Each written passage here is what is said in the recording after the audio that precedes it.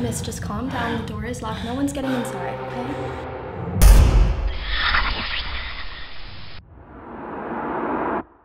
Just doing some fishing. Well, that's fine as long as you stay away from the east side of the lake. Hi. I'm Suki. You catch anything?